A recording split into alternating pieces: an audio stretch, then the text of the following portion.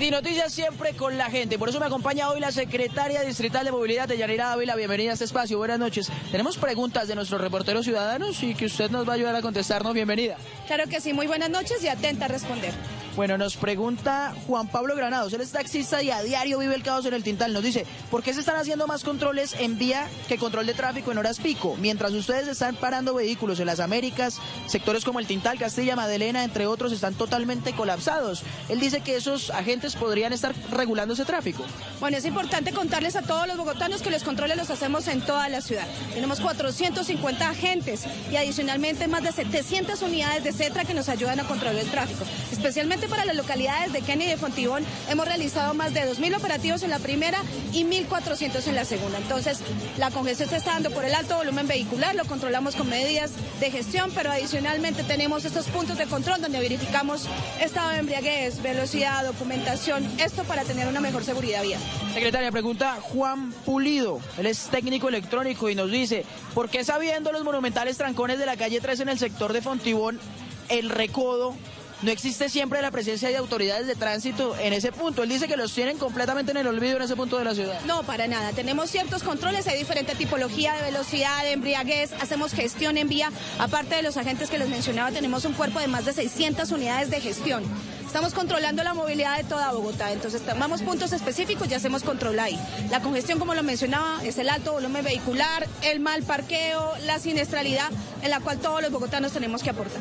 último, secretaria Brenda López, ella es coordinadora de seguridad en su trabajo y nos dice, ¿por qué están negando o cancelando las citas para impugnar comparendos? Finalmente, es un derecho al ciudadano como conductor. Totalmente, un derecho. Todos los bogotanos tienen derecho a impugnar los comparendos. En ningún momento estamos cancelando las citas.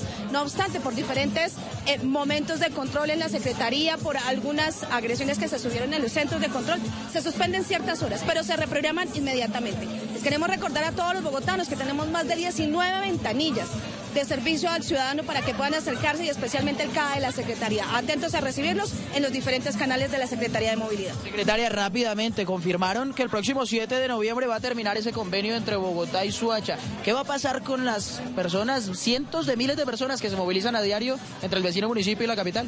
Bueno, este convenio lleva 10 años, con unas condiciones completamente desactualizadas. Hoy nos preparamos, Bogotá tiene la suficiente oferta para atender a todos los viajes entre Bogotá y Suacha. Vamos a tener dos rutas adicionales del componente zonal, lo que es Autosur Boyacá, Autosur 68, reforzaremos la alimentación, ya tenemos nuestro patio de la reforma, estaremos operando en total normalidad. Lo importante es que todos los suachunos y los bogotanos conozcan las rutas, estaremos con ustedes en vía a partir del 28 de octubre contándoles cómo se pueden integrar al transporte público de Bogotá.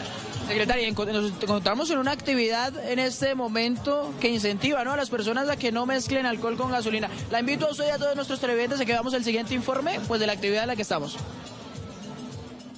La Secretaría Distrital de Movilidad continúa realizando campañas para prevenir las fatalidades en los siniestros viales en la ciudad. Además, entre enero y septiembre se han programado 502 controles nocturnos de embriaguez en la ciudad. En el marco de la Semana de Seguridad Vial, cerramos este viernes con esta carpa con cócteles zanahorios aquí en esta zona tan importante de Bogotá, de Modelia, para tomar conciencia de que no debemos conducir si hemos consumido alcohol.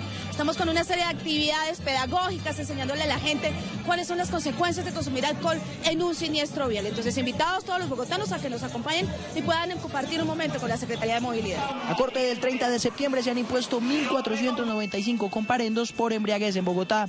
Eh, me parece muy bien, muy bien eh, concienciar a la gente sobre el no al consumo de, alcohol cuando van a manejar. Esa es la mejor medida que puede haber porque hay medios si usted lleva el carro que alguien le pueda manejar el carro.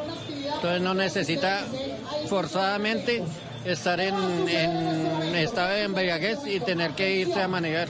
Con estas campañas, el distrito busca seguir incentivando el buen comportamiento en las vías.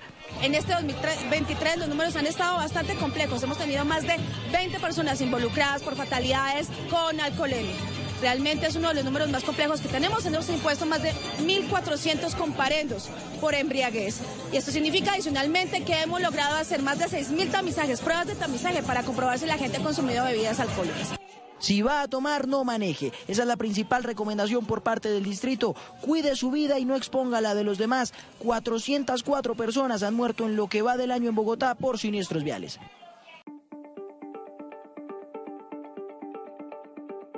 Suscríbase a nuestro canal de YouTube, active la campana y no se pierda las últimas noticias. Somos Canal City TV.